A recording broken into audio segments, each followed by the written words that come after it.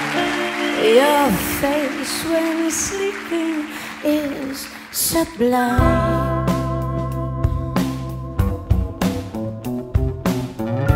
And then you open up your eyes.